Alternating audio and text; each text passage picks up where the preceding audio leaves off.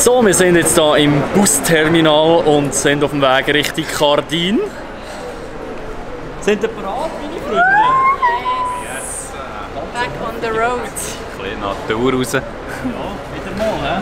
Nach etwa einem Monat da, hä? Jetzt gehen wir da mal unser, äh, unser Büsschen suchen. So, wunderschönen guten Morgen zusammen. Wir sind bereits angekommen in Kardin und es ist der, äh, der nächste Morgen. Gestern sind wir relativ spät angekommen.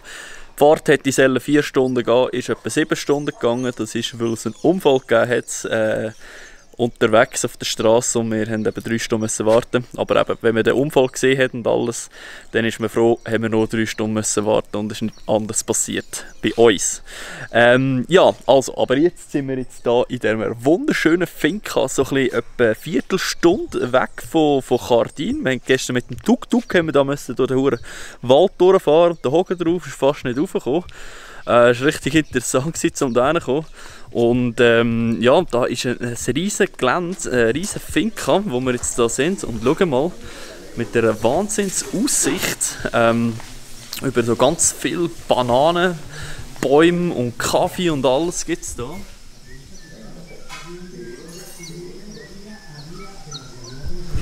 Das ist richtig schön, also uns, uns gefällt es da richtig. Ähm, einfach so mit schnell, schnell auf Kardin, aber irgendetwas gepostet wird das nicht, weil eben es geht etwa eine Viertelstunde mit dem Tuk-Tuk. Ähm, jetzt müssen wir ein schauen, was wir machen. Ähm, wir wollen da noch zu so einem Wasserfall. So wie auf so einer Finca üblich, hat es natürlich auch da ganze Haufen Tier und Früchte und sonstige Gewächse. Zum Beispiel etwas, was ich noch nie gesehen habe, äh, Maracuja, also Passionsfrucht. Die sehen so aus. Und die sind jetzt etwa in drei Wochen sind die reif. Und da sehen ihr äh, Blüten, die sehen so aus. Da. Und danach schließt die sich, dann sieht es etwa so aus. Und. Nein, jetzt habe ich es eigentlich erzählt.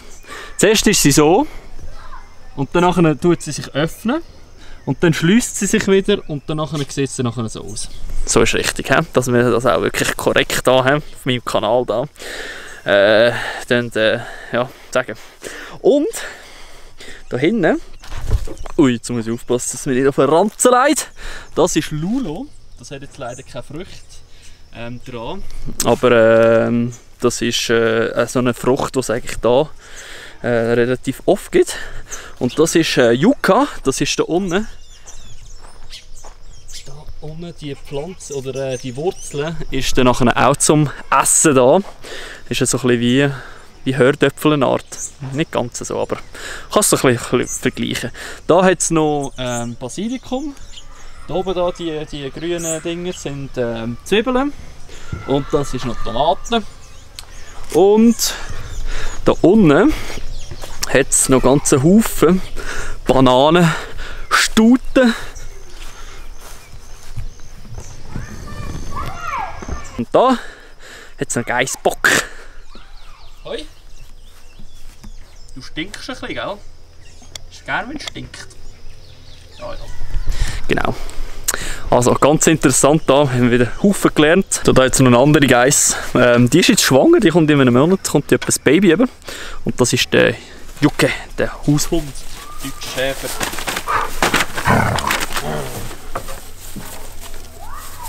Ja, das ist schon recht. Gibt schon recht zugemut. Ne? Also ich bin jetzt da gerade ein bisschen aufgeklärt worden, wie das so mit diesen Bananen läuft. Und zwar, äh, das ist so ein eine Bananenfamilie da. Da seht ihr, das ist zum Beispiel die Gro Großmutter, das ist äh, die Mutter und das ist dann nachher äh, das Kind. Und wenn die da ready sind, dann würde dann nachher der, der Baumstamm abgehauen und dann kommt da unten, also da, seht ihr, schon wieder neuer, da der kleine, da, der da. Das ist dann schon wieder ein neuer. Und da wachsen da schon wieder neue nachher, da die kleinen. Und das hat er gesagt, sechs Jahre ähm, geht das ungefähr. Das wird immer wieder nachher produziert. Also automatisch, man muss nicht irgendwie etwas pflanzen, sondern das kommen immer wieder neue raus aus dieser, aus der, aus der einer Familie jetzt da, von, dem, von diesen Bäumen. Und das ist noch spannend und irgend so ein Zyklus geht etwa ein Jahr dass die, also von, von sag jetzt mal, dass die grosse Banane, dass man die kann pflücken kann, nachher kommt der und so und der, der kleiner. Das ist eigentlich ein Jahr. Und dann fängt es wieder an. Dann kommt jetzt zum Beispiel jetzt der dort, der, der, ihr jetzt, der kleine, den ihr jetzt seht, dann wächst der wieder und dann kommt da wieder die, die, die ganz kleinen, die ihr jetzt da seht, die wachsen dann auch wieder. Und so läuft das immer wieder und immer wieder. Und äh, ja, er hat gemeint, Bananen sind die Früchte, die äh, am meisten ähm, Gewicht eigentlich abwerfen von der Früchteproduktion auf der Welt. Weil es halt einfach immer wieder nachher automatisch nachher ähm, produziert und äh, halt die relativ großer Menge und halt einfach immer die drei verschiedenen Stuten hat, die dann halt immer regelmäßig wieder ähm, abwirft. Also man muss nicht ein Jahr warten, bis der, bis der Baum wieder ähm, neue Bananen hat, sondern es sind immer ja drei im 3 Monats Zyklus ungefähr oder 4 Monats Zyklus, wenn wir wieder Bananen geben. Ah, interessant, nicht? Also ich habe das nicht gewusst, aber ich weiß noch vieles nicht. Und äh, ist aber wirklich interessant und da die Maracuja da hinten, finde ich wirklich cool, dass ich das jetzt auch mal gesehen habe, wie die wachsen. So, jetzt haben wir genug gechillt, Leo, gell? Ja, ein Schach hergeklebt. Schach hergeklebt, wir sind nicht mal fertig geworden und jetzt geht es ins Dorf an mit dem Chipli da. Weil eben zum, Weiter wär, zum Laufen wäre es viel zu weit. Und jetzt gehen wir mal ein bisschen Kardingo abchecken miteinander, oder? So Salome, ja. wo, wo, befinden wir uns? Wir gehen jetzt in die Kille, schnell beten und Danke sagen für den schönen Ort, wo wir sein dürfen. Wir sind jetzt gerade in Kardin auf dem Hauptplatz, Dorfplatz. Gefällt es dir? Es ist einfach wunderschön. Ich habe schon lange nicht mehr so Schönes gesehen. Wieso schaust du mich gerade an?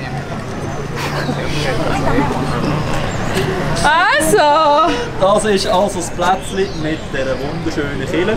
Und da hat es überall so, äh, so kleine Restaurants, Käferchen rundherum und die Leute hocken da ein bisschen verrissen und da haben jetzt noch so kleine Food-Sachen, gell? Und äh, ja, ist wirklich mega schön. Es erinnert uns ein bisschen an Mexiko, gell? Yeah. Oh ja. Mexiko und Guatemala. Richtig farbig. Jetzt gehen wir mal schauen, wer die Kille hier hat gebaut. Das ist so ein ganz spezielles Exemplar. so, einen wunderschönen guten Morgen zusammen. Ein neuer Tag ist angebrochen. Und was machen wir heute? Wir gehen wandern. Wohin? Machst du genau, Salome? Okay, fahren wir mit dir weiter. Irgendwie etwas mit Esplendor, keine Ahnung. Cueva del Esplendor. Ah, da ist unser Guide. La Cueva del Esplendor. Aha. Jetzt laufen wir rauf bis zum höchsten Punkt. Da es einen Aussichtspunkt und ein weißes Haus. Und von dort sollten wir links und nicht rechts. Und dann mal fragen. Dann kommt es gut. Das klingt sehr überzeugend. Ich glaube, wir kommen sicher gut an. Ähm, ja, ihr werdet es gesehen haben.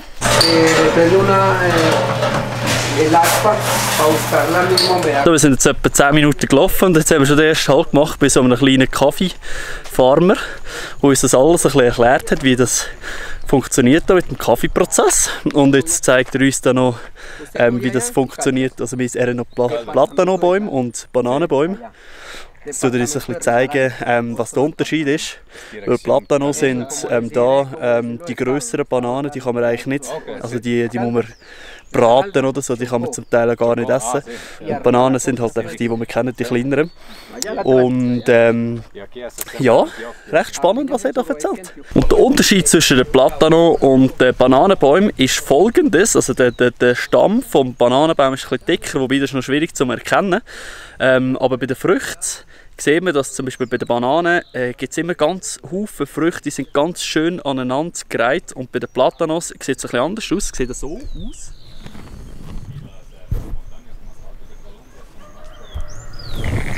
Haben Sie vielleicht gesehen, die, die Früchte sind so, ähm, so mega weit auseinander und haben viel, viel weniger ähm, Bananen, also Platanos dran.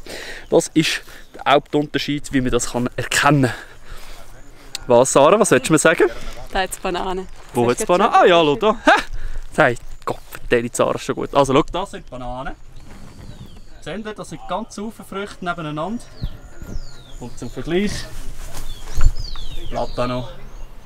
Wir sind jetzt etwa zwei Stunden unterwegs gewesen und jetzt geht es hier in die Höhle. Wir sind jetzt da noch gerade um Registrieren. Ja, die Passnummer und alles müssen angeben. Das ist sehr seriös. Ja, jetzt schon. Jetzt sind wir angekommen bei diesen Höhlen, beim Wasserfall, gell Salome? Ja! Geil, gefällt dir? So schön! So schön! Was Natur alles war, das ist schön. Genau. Unbeschreiblich. Unbeschreiblich. Wirklich cool, wie das Wasser so durch das Höhlendings durchkommt. Wirklich coole Sache. Jetzt können wir noch schwimmen. Wie, wie warm ist das Wasser? 6 Grad. 6 Grad. Bisschen kalt, hä? 6. Pure frisch, hä? Gehst du rein? Ja, vielleicht.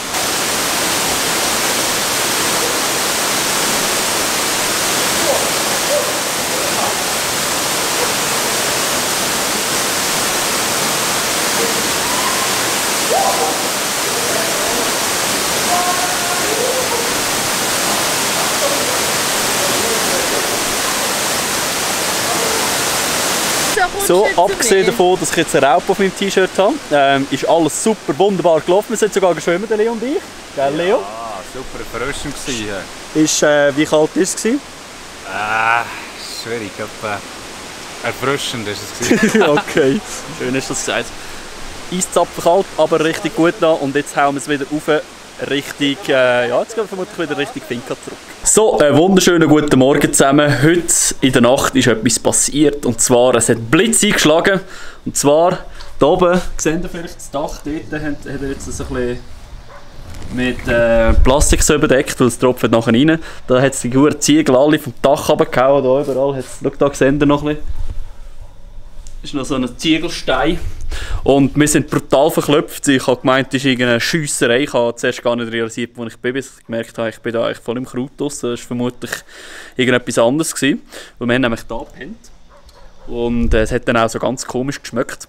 Und wir haben ähm, da ursprünglich drei Tage bleiben. Uns gefällt es aber so sensationell gut, dass wir jetzt ein bisschen verlängert haben. Und es hat aber das Problem mit Booking.com. Dort war der falsche Preis. Ähm, das heisst, wir haben eigentlich zu wenig gezahlt. Und jetzt haben wir verlängert und jetzt können wir den Preis, den wir ursprünglich hatten, haben wir nicht können übernehmen. Dafür haben wir jetzt ein Upgrade bekommen. Und zwar können wir jetzt für äh, ein bisschen mehr, ich glaube für 17 Franken pro Nacht, pro Person, können wir jetzt hier pennen. In diesem riesig geilen Zimmer. Mit, mit, da, mit der geilen Aussicht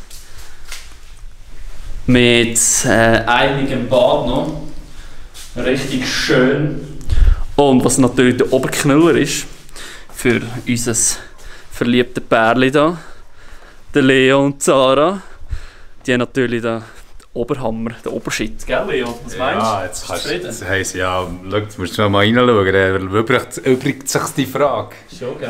In unserer das da, hey, da, wie sich, da kann man Fußball spielen, das ist so riesig. Mit einer geilen Aussicht und einem geilen Balkon. Da Private TV. Ich kann mich fast die Schnaufen durch die ganze Urhütte da. Da, was ist das? WC.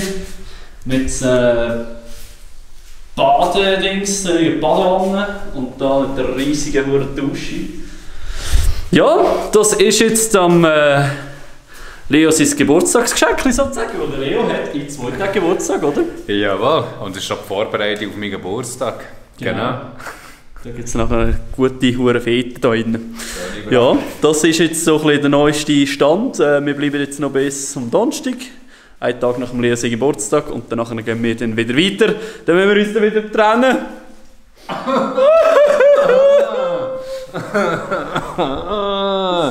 Aber wir sehen uns schon gleich. Nein, Ja. Jetzt hast du mich gut am Boden gerührt. Ja, ja. Wir bleiben sicherlich in Kontakt. Das haben wir eh schon gesagt. Das haben wir jetzt schon mal geschafft. Und äh, von dem her, ja. Wir hoffen, euch hat das Video gefallen. Wir sind jetzt hier am Ende angelangt und äh, etwas Wunderschönes wollen wir euch aber nicht vorenthalten. Und zwar hat es auf dieser Farm bzw. dieser Finca, wo wir jetzt sind, hat es wunderschöne Tiere. Mein persönliches Lieblingstier seit neuestem. Und zwar sind das Pfauen. Die sehen die hier. Ich denke nicht, dass sie jetzt gerade das Rad aufmachen, aber die sind äh, so zahm. Das ist unglaublich. Sie haben gerne, wenn man Gitarre spielt. Und äh, das war schon so ein bisschen unser Highlight hier oben. Also, in dem Sinn, ciao, der Pfau! Ciao, du Pau! Sehr gut.